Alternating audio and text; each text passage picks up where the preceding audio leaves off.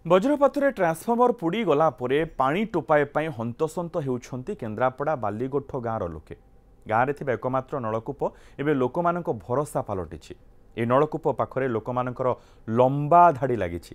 ସମସ୍ୟା ନେଇ ward member ଓ ସରପଞ୍ଚଙ୍କ ନିକଟରେ ଅଭିଯୋଗ କରିଥିଲେ ବି ଫଳ ଶୂନ।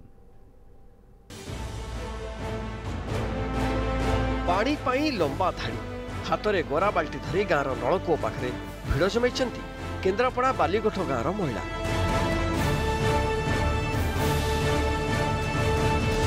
ବଜ୍ରପାତରେ ପମ୍ପ ହାଉସ୍ର ଟ୍ରାନ୍ସଫର୍ମର ପଡ଼ିଯିବା ପରେ ଗାଁରେ ପାଇପ୍ ଜଳ ଯୋଗାଣ ବନ୍ଦ ହୋଇଯାଇଛି। ପନ୍ଦର ଦିନ ଧରି ଲୋକେ ପାଣି ଟପାଇବା ପାଇଁ ଡହଳ ବିକଳ ହେଉଛନ୍ତି। ରାତି ପାହିବା ଆଗରୁ ନଳକୂପ ପାଖରେ ଲାଗୁଛି ଲମ୍ବା ଲାଇନ୍।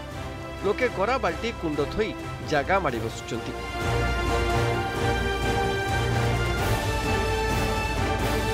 ପାଣି ସମସ୍ୟା ନେଇ ଗ୍ରାମବାସୀ ସ୍ଥାନୀୟ ସରପଞ୍ଚ ଏବଂ ୱାର୍ଡ ମେମ୍ବରଙ୍କୁ ଜଣାଇଥିଲେ ମଧ୍ୟ ଫଳ ଶୂନ ପାଣି ବୋହୁଛୁ ଗାଈ ଗୋରୁ ସମସ୍ତେ ଏଇଥିରେ ଲାଟ୍ରିନ୍ ଯିବୁ ଘରେ ପାଣି ପିଇବେ ସବୁ ସମସ୍ୟା ଏଇଠି। ଆଉ କେମିତି କ'ଣ ଚଳିବୁ? ରାତି ତିନିଟାରୁ ଆସିକି ସବୁ ଯିଏ ଚାରିଟା ପାଞ୍ଚଟା ଆଣୁଛନ୍ତି ସିଏ କହୁଛନ୍ତି ଆମେ ଭରି ସାଇଲେ ତମେ ନେବ।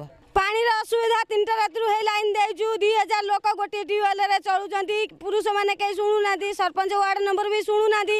ଆମେ ଭୋଟ ଦେଇକିରି ଏଇଠି ବସୁଛୁ ଆମେ ସୁବିଧା ପାଇଁ ଆମେ ଅସୁବିଧାରେ ଚଳୁଛୁ ଲାଇନ୍ ନାହିଁ ପାଣି ଟାଙ୍କି ପଡ଼ିଯାଇଛି ବୋଲି ଦେଉନାହାନ୍ତି। ମଟର ଆଣି ଲଗାଉନାହାନ୍ତି କହୁଛନ୍ତି ଆମେ କିଛି କରିପାରିବୁନୁ ଆମେ କ'ଣ କରିବୁ? ଝଗଡ଼ା ଝାଟି ମାଡ଼ଗୋଳ ହେଇଯାଉଛୁ ବାଡ଼ାବାଡ଼ି ହେଇଯାଉଛୁ। ବାଲିକୋଠ କେଉଟଗଡ଼ ଏବଂ ଠାକୁରଡିହ ଗାଁର ପ୍ରାୟ ହଜାରରୁ ଅଧିକ ଲୋକ ପାଣି ପାଇଁ ହନ୍ତସନ୍ତ ହେଉଛନ୍ତି। ଏହି ନଳକୂପଟି ମଧ୍ୟ ଭାଙ୍ଗିରୁଜି ନଷ୍ଟ ହୋଇଗଲାଣି। ନଳକୂପରୁ ଆବର୍ଜନାଯୁକ୍ତ ପାଣି ବାହାରୁଛି। ଫଳରେ ଲୋକେ ନଳକୂପରେ କପଡ଼ା ବାନ୍ଧି ପାଣି ନେଉଛନ୍ତି। ତେବେ ଟ୍ରାନ୍ସଫର୍ମର ପୋଡ଼ିବା ଘଟଣା ପ୍ରଥମ ନୁହେଁ ପୂର୍ବରୁ ଅନେକ ଥର ଏଭଳି ସମସ୍ୟାର ସମ୍ମୁଖୀନ ହୋଇଛନ୍ତି ଗ୍ରାମବାସୀ। ଏନେଇ ଜିଲ୍ଲା ଗ୍ରାମ୍ୟ ଜଳ ଯୋଗାଣ ଏବଂ ପରିମଳ ଉପଖଣ୍ଡ ଅଧିକାରୀଙ୍କୁ ଯୋଗାଯୋଗ କରିବାରୁ ସେ ସମସ୍ୟାକୁ ସ୍ୱୀକାର କରିବା ସହ ଖୁବ୍ ଶୀଘ୍ର ସମାଧାନର ପ୍ରତିଶ୍ରୁତି ଦେଇଛନ୍ତି। ପନ୍ଦର ଦିନ ହେଲାଣି ପାଣି ଟାଙ୍କି ଖରାପ ସକାଶେ ପାଣି ଆସିନି। ପାଣି ନ ଆସିଲେ ଆମେ ଯେଉଁ ଭୋଟ ଏମାନଙ୍କୁ ଯେଉଁ ଦେଉଛୁ ସରପଞ୍ଚ ୱାର୍ଡ଼ ମେମ୍ବର ଯେଉଁ ଆମେ ଭଲ ସାବ୍ୟସ୍ତ କରୁଛୁ କ'ଣ ପାଇଁ କରୁଛୁ?